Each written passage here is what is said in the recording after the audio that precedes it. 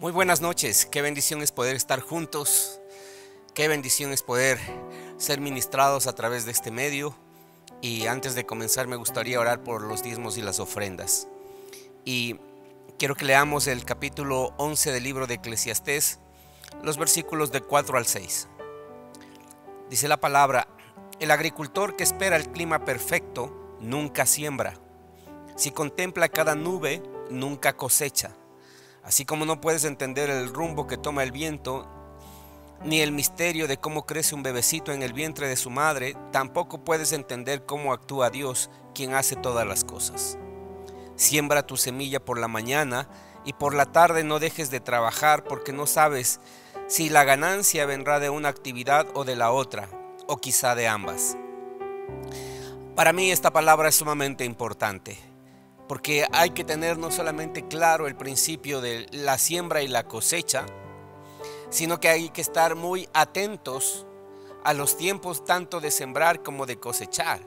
El versículo 4 dice, el agricultor que espera el clima perfecto, aplicando eso a nuestras vidas, a veces estamos esperando la circunstancia perfecta, el tener, el, el, si me das Señor yo voy a diezmar o voy a ofrendar pero el principio es este, sin semilla no hay cosecha, por lo tanto, cada que tenga oportunidad de sembrar, debemos hacerlo. Amén. Pero hay algo que es también clave, dice la palabra, si contempla cada nube, en otras palabras, si estás elevado, no vas a poder cosechar. Cuando siembras, tienes que tener expectativa de tu cosecha. Tienes que, en el lapso de tiempo de la cosecha, O de la germinación de tu semilla, tienes que estar hablando palabras de fe a esa semilla. Luego la palabra en el versículo 5 menciona, nosotros no entendemos cómo Dios opera, así como no entendemos cómo se forma el, bebé en el vientre de una madre, así tampoco vamos a entender las formas de Dios. Por lo tanto, debemos sembrar temprano en la mañana y no dejar de sembrar cuando tarde en el día es lo que está mencionando la palabra, porque no sabemos de dónde va a, provenir nuestra cosecha, si de una semilla o de otra. Amén. Entonces siempre es importante tener claro cómo funcionan las cosas de Dios. Pero lo más importante es nuestra fe. Sembrar no por obligación, sembrar no por tradición, sembrar con la convicción de que cada semilla que nosotros plantamos va a producir un fruto en nuestras vidas. Amén. Vamos a orar. Amado Padre, queremos bendecirte y queremos darte gracias, porque tú has prometido dar semilla al que siembra y también darle pan para que coma, Señor. Gracias, Señor, porque cuando caminamos en tus principios y en tus preceptos, no solamente que suples a nuestras necesidades conforme a tus riquezas en gloria, sino que abres las puertas y las ventanas de los cielos y derramas sobre nuestras vidas bendición hasta que sobre y abunde. Gracias, Señor, en el nombre precioso de Jesús. Amén. Querida iglesia, es tiempo de dar. Recordemos lo hermoso que es bendecir a otros con alegría. Cuando damos, estamos sosteniendo la iglesia y cambiando miles de vidas en nuestro país. Te animamos a que siembres con gozo y generosidad, porque Dios ama al dador alegre. Gracias, que Dios te multiplique sobreabundantemente. Una vez más, buenas noches. Qué bendición poder compartir la palabra. El tema que quiero transmitirle en esta noche le he puesto por nombre Peleando para ganar. Peleando para ganar. Si de algo podemos estar seguros es que toda la vida el hombre va a tener que enfrentar retos, luchas y desafíos. En toda la vida, como hombres y mujeres de fe, vamos a tener que conquistar, vamos a tener que enfrentar montañas de oposición, mares de imposibilidad, gigantes al acecho nuestro. Y, nosotros tenemos que tener claro esto en nuestros corazones y en nuestras vidas. En el libro de Juan, en el capítulo 16, el versículo 33, la palabra de Dios dice, de los labios de Jesús, les he dicho todo, es, todo lo anterior para que en mí tengan paz. Aquí en el mundo tendrán muchas pruebas y tristezas, pero anímense, porque yo he vencido al mundo. Amén. Todavía no hay disponible tour a Marte o a Júpiter o a Venus. ¿Por qué le menciono esto? Porque tenemos que tener claro que mientras estemos en este mundo, en esta tierra y en esta vida, vamos a tener problemas y dificultades. Vamos a enfrentar retos y desafíos. Y, lo tenemos que tener claro porque a veces sutilmente en nuestro corazón se despierta el anhelo de que como ya está Cristo en nuestras vidas, como Dios nos ama, como Dios nos amó, todo va a estar bien. Y cuando las cosas están mal, cuando las pruebas vienen, entonces nos desanimamos. El hombre de Dios y la mujer de Dios, el creyente, debe ser un hombre de fe, debe ser un hombre atrevido, valiente, debe ser un hombre y una mujer de batalla, de retos y desafíos. Así es la vida. Muchos se preguntarán, entonces, ¿qué hace la diferencia de ser cristiano o no? La diferencia está en que aun cuando enfrentemos los mismos problemas, si no tienes a Cristo en tu corazón, estás solo. Pero con Él, no solamente que tienes el Espíritu Santo de Dios en tu vida, no solamente que los ángeles del cielo están peleando a tu favor, sino que también tienes las promesas de Dios. Pero que tenemos que enfrentar, tenemos que batallar, lo tenemos que hacer. Si alguna vez usted se ha preguntado por qué la Biblia en el Antiguo Testamento está llena de batallas, llena de retos, llena de desafíos, es porque Dios quiere que su pueblo esté listo para enfrentar todas las acechanzas del maligno.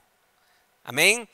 Retos van a venir en el área física, retos van a venir en el área natural, retos van a venir en el área espiritual, pero nosotros vamos a pelear para ganar. Amén. Lo bueno es que como hombres y mujeres de fe estamos diseñados por Dios para batallar, para conquistar. Amén. En el libro de Lucas, en el capítulo 19, el versículo 10 dice la palabra, porque el Hijo del Hombre vino a buscar y a salvar lo que se había perdido. Amén. Y esto es importante no solamente vino a, salvarnos, si ya recibimos a Cristo en nuestro corazón, hemos sido rescatados, hemos sido salvados, pero hay otras cosas en nuestra vida que tienen que ser rescatadas. y nosotros fuimos diseñados en el cielo de una manera. Por eso el Señor Jesús en el Padre nuestro dice que necesitamos orar de esta manera. Venga tu reino y hágase tu voluntad. El reino de los cielos tiene que establecerse en nuestras vidas y en nuestras vidas el diseño del cielo tiene que cobrar nuevamente su, lugar, tiene que venir a ser parte de nuestras vidas. Amén. Para enfrentar una batalla efectiva, para pelear, para ganar, lo primero que nosotros necesitamos hacer es tener claro quién es el enemigo y el área de conflicto. A veces no identificamos quién es el enemigo y nos enfrascamos en batallas dentro del matrimonio, nos enfrascamos en batallas dentro de la familia, nos enfrascamos en batallas naturales, cuando la palabra de Dios lo pone claro. En Primera de Corintios capítulo 9, versículo 26, dice la palabra, por eso yo corro cada paso con propósito, no solo doy golpes al aire. Qué importante es tener claro quién es el enemigo. La palabra de Dios dice que nuestro adversario es el diablo. ¿sí? Y, y él es un adversario espiritual. A veces no somos efectivos en nuestras batallas, en nuestros conflictos, porque no entendemos que nuestra lucha no es contra carne ni sangre, sino contra principados, potestades y huestes espirituales de maldad en las regiones celestes. Cuando tenemos claro entonces no vamos a discutir entre esposo y esposa por situaciones. Como hombres y, mujeres maduros en la fe, vamos a decirle, mi amor, esto no es normal. Vamos a orar y vamos a reprender este espíritu de lucha, de contienda, de división. ¿Por qué? Porque debemos tener claro quién es nuestro enemigo. Debemos tener claro cuál es el área de conflicto en nuestras vidas. No solamente cuál es el área de conflicto, sino también debemos tener claro cuáles son las armas que nosotros hemos recibido. En 2 de Corintios capítulo 10 versículo 4 y 5 no lo vamos a, leer, pero la palabra de Dios dice que las armas de nuestra milicia no son carnales. No, no, no tenemos que seguir un, curso de defensa personal. No tenemos que seguir, o, no son nuestras armas una pistola, un cuchillo o algo por el estilo. Nuestras armas son espirituales porque nuestro enemigo es espiritual. Tenemos claro cuál es nuestro enemigo y tenemos que tener claro también cuál es el área de conflicto en nuestras vidas. Cuando no identificamos esto, muchas veces vamos a ser hallados como el, versículo que leímos al inicio de este punto. Vamos a estar dando golpes al aire, vamos a estar siendo ineficaces, no vamos a ser efectivos en, en estas batallas que tenemos que enfrentar cada día. Y a veces nos desanimamos porque oramos o nos armamos de los mejores propósitos, pero las cosas no cambian. Tenga claro, su adversario es el diablo y anda como león rugiente buscando a quien devorar. Su tarea es robar, matar y destruir. Tenga claro que el conflicto no es personal con la gente que habla de usted. El enemigo está poniendo engaños en sus vidas para que hablen mal de usted. Su problema y su, y, su situación no es, no es con su esposa. Me acuerdo claramente hace unos no sé si unos 20 años. Estaba recién casado, 22 años. Y estábamos organizando un evento de jóvenes con mi esposa, porque éramos pastores de jóvenes en ese tiempo. Y de la nada llegamos, estábamos yendo a la iglesia y empezamos a discutir por algo que no tenía que ver con nosotros, tenía que ver con los asuntos del evento que estábamos organizando. Y curiosamente fue antes de comenzar una media hora antes de comenzar el evento. Así es que llegué a la iglesia y estaba un poquito cargado y le, pude visualizar este versículo y le dije a mi esposa, mi amor, esto no tiene que ver contigo ni tiene que ver conmigo. Esto tiene que ver con la obra que estamos haciendo y este ataque es espiritual. Estábamos bien. Entonces nos unimos y empezamos a reprender este espíritu de lucha, de contienda y de división y todo, por demás está decirle, todo salió bien. Amén. La única forma en la que vamos a, pelear una batalla y vamos a ser efectivos es cuando identificamos nuestro enemigo. Amén. El segundo punto importante, ¿cómo peleo? ¿Cómo peleo? Tengo que ubicarme en el escenario correcto. En el libro de Romanos capítulo 12, versículo 1 y 2 dice la palabra. Por lo tanto, amados hermanos, les ruego que se entreguen su cuerpo a Dios por todo lo que Él ha hecho a favor de ustedes, que sea un sacrificio vivo y santo, la clase de sacrificio que a Él le agrada. Esa es la verdadera forma de adorarlo. No imiten las conductas ni las costumbres del mundo, más bien dejen que Dios los transforme en personas nuevas al cambiarles la manera de pensar.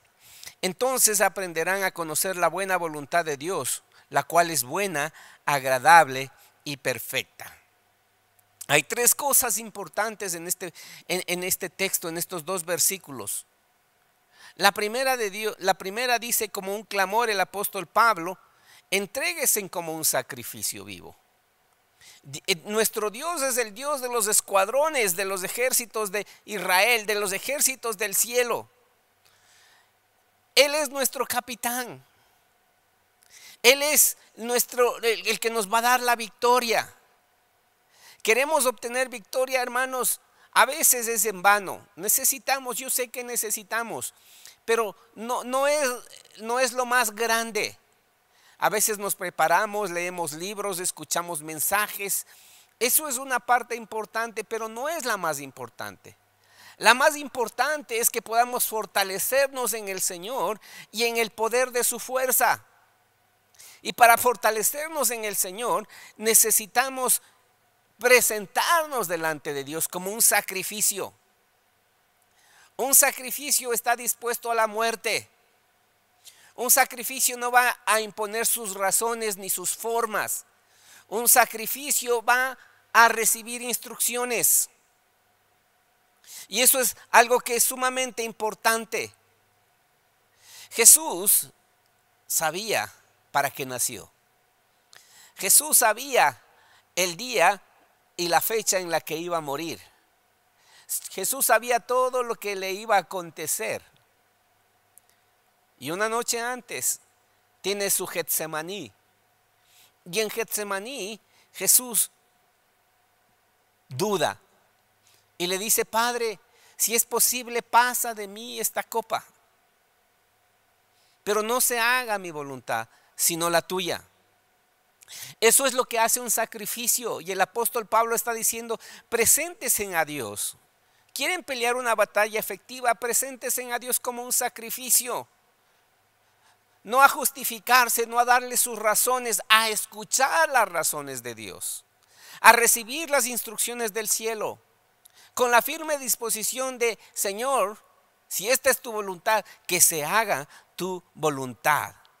Esta es la verdadera forma de agradarlo. Por eso dice la palabra que nos presentemos como un sacrificio vivo y santo y agradable a Dios. Le agradamos a Dios con esa actitud de rendición, con esa actitud de Señor, no es mi voluntad, es la tuya la que estoy buscando. La segunda cosa importante es que la palabra de Dios nos anima en este texto a no imitar las conductas ni las costumbres de este mundo, a no adoptar las ideologías de este mundo, las formas de este mundo. El mayor problema y el obstáculo más grande que tenemos es nuestra manera de pensar y por ende nuestra forma de hacer las cosas.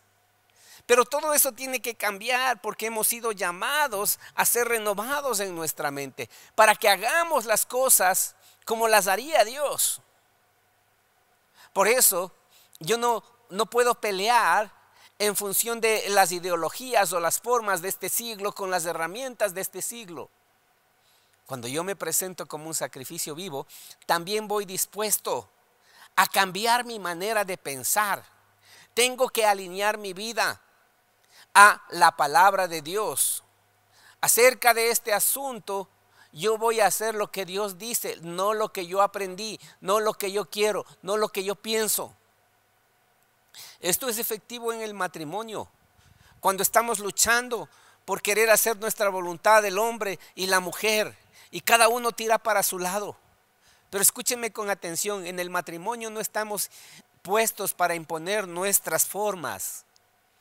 Estamos puestos para luchar juntos por las formas de Dios, por las formas del cielo, estableciéndose en nuestros matrimonios, hogares y familias. Amén. Entonces la palabra de Dios dice, cambien de manera de pensar. Adopten la, la, manera de pensar del cielo. Esa manera de pensar que está escrita y descrita en mi palabra. Esa forma de pensar que va a ser revelada por el Espíritu de Dios a través de los textos que, o versículos o promesas que encuentras en la palabra de Dios. Y luego como tercer punto dice, entonces, solo entonces aprenderás a conocer. Solo entonces experimentarás, conocerás la buena voluntad de Dios para ti, que es buena, agradable y perfecta. Queremos experimentar la victoria, queremos experimentar las buenas cosas de Dios. Tenemos que presentarnos como un sacrificio vivo. Tenemos que cambiar de manera de pensar. De esa manera es que luchamos. De esa manera es que batallamos y peleamos para ganar. No, no, no, no se trata de una pelea ni una carrera, de estar resistiendo, de estar luchando eh, persona a persona. Nuestro enemigo no, no es carnal. Nuestro enemigo es espiritual. Y tenemos que tener esa claridad. Amén. Y tercer punto importante que quiero compartirles en esta noche. El quebrantamiento es el camino. Dios quiere que seamos transformados. La palabra que leímos dice que quiere que seamos transformados a través de la renovación de nuestro entendimiento para que disfrutemos la vida que Él nos prometió. Y el quebrantamiento de nuestra alma es el camino. Un ejemplo perfecto de este quebrantamiento es la vida de Jacob y su transformación en Israel. Usted lo debe haber escuchado en otras palabras. Lo que significa Jacob significa suplantador, engañador. E Israel significa el que pelea con Dios. Escuche, en el libro de Génesis, en el capítulo 32, voy a leerle versículos del 22 al 28, dice la palabra, y se levantó aquella noche y tomó sus dos mujeres y sus dos siervas y sus once hijos, y pasó el, el vado de Jaboc. Los tomó pues e hizo pasar el arroyo a ellos y a otros y a todo lo que tenía. Entonces Jacob se quedó solo en el campamento y llegó un hombre y luchó con él hasta el amanecer. Cuando el hombre vio que no ganaría el combate, tocó la cadera de Jacob y lo dislocó. Luego el hombre le dijo, déjame ir, ya amanece. No te dejaré ir a menos que me bendigas, le dijo Jacob. ¿Cómo te llamas? preguntó el hombre. Jacob contestó él. Tu nombre será, ya no será Jacob. Le dijo, le dijo el, el hombre, de ahora en adelante serás llamado Israel porque has luchado con Dios y con los hombres y has vencido. Este pasaje representa el proceso que todo creyente debe pasar para ser el tipo de hombre o siervo que Dios necesita. Tenemos una naturaleza carnal, somos hombres naturales y esa naturaleza está dada por el trasfondo de donde venimos, la forma en la que crecimos, las instrucciones que recibimos. Y eso nos hace luchadores, pero en términos del mundo. Dios quiere transformarnos en luchadores en términos espirituales. Dios quiere cambiar esa naturaleza en nuestras vidas. Y es importante que nosotros lo entendamos. Jacob era un hombre con todos los defectos naturales y humanos que todos nosotros tenemos. Como hombre natural, Jacob trató de hacer las cosas a su manera. De hecho, le quiero decir algo importante. Aun cuando estaba en el vientre de su madre, Jacob habló con la madre, con su madre, no, Dios habló con su madre, con la madre de Jacob, y le dijo que él iba a ser, aun cuando iba a ser el menor, él iba a ser el primero. Ya Dios lo había dispuesto así. Es, muy probable que Jacob tenía este sentir en su corazón, pero toda la vida se pasó luchando por tratar de sobresalir y ser el primero. No le importaron las formas, todos sabemos que por un plato de lentejas le, quitó a su hermano la primogenitura. Ahora, cuando leemos eso, pensamos que vivo Jacob. Y pensamos, Dios estaba detrás de esto. Dios no estaba aprobando lo que Jacob estaba haciendo. Más adelante le vemos también a Jacob robándole la bendición de su padre a su hermano Esaú, suplantando a través del engaño fingiendo la voz, aprovechando que su papá estaba ciego. Y tomó la bendición que Dios había dispuesto para él, pero tomó la bendición que su padre le quería dar a Esaú. Dios lo iba a hacer porque así lo estableció. Sin embargo, los medios a través de los cuales y las formas a través de las cuales Jacob hizo las cosas no eran agradables a Dios. Cuando el ángel le dice a Jacob, porque Dios le lleva y le pone a Jacob entre la espada y la pared, cuando el ángel le, dice, ¿cómo te llamas? Le dice Jacob, suplantador, engañador, hombre natural, acostumbrado a hacer las cosas en mis fuerzas y a mi forma. Y dice la palabra que el ángel le dijo, ya no te llamarás más Jacob, te llamarás Israel, el que pelea con Dios. Y para mí, hermanos, no hay lógica en esto. Porque no creo que se trató de una pelea física. Pero es ese tipo de peleas que nosotros muchas veces nos enfrascamos con Dios, tratando de explicarles nuestras razones, tratando de darles nuestros argumentos. ¿Por qué? Es que, tratando de hacer prevalecer y tratando de, justificarnos. Era una, una pelea de argumentos. Y el ángel le dice, has peleado con los hombres. Jacob, toda la vida has peleado. Y yo quiero decirte en esta noche, a veces toda la vida nos pasamos peleando por imponer nuestras formas. En nuestro hogar, cuando somos niños y cuando somos eh, jóvenes, en nuestro matrimonio cuando recién nos casamos, con el Señor, por las formas que la palabra de Dios dice, con mi líder, con el pastor, peleamos con todo el mundo. Por eso es importante lo que dice el apóstol Pablo en el libro de Romanos 12, 1. Preséntate a Dios como un sacrificio. ¿Quieres pelear para ganar? Anda dispuesto a morir delante de Dios. Preséntate como un sacrificio vivo. Deja que Dios te quebrante en tus formas. Tus formas de pensar no son las formas de pensar del cielo. Tienes que cambiar de manera de pensar. Tienes que renovar tu mente. Por mucho que te haya resultado efectivo las formas antiguas y naturales, porque muchos adquirimos experiencias en el mundo y pensamos me van a funcionar igual. No. Fuimos trasladados del reino de los cielos, ah, del reino de las tinieblas al reino de los cielos. Las formas del cielo son diferentes. Es mejor quebrantarnos, rendirnos, ver la palabra como, como la constitución del reino de los cielos, permitir que esa palabra no sea información en nuestra mente, sino que esa, esa palabra renueve nuestra manera de pensar, cambie nuestra manera de pensar de la experiencia de Jacob, él termina diciendo que luchó con Dios y con los ángeles y fue mudada su alma. Nuestra alma tiene que cambiar. ¿Quieres pelear para ganar? Deja que Dios cambie tu alma. Deja que Dios te transforme en otra persona, en una nueva persona. No una persona religiosa, es una persona quebrantada, convencida de que es en la forma del cielo y que estamos en esta tierra para hacer la voluntad del Padre y no la nuestra. Amén. Esa es la palabra que quería compartir con ustedes en esta noche. Yo sé que tenemos frecuentemente luchas, retos y desafíos. Sé que frecuentemente estamos enfrentando esas batallas y es como si diésemos golpes al aire. No le pegamos a una. Pero es importante.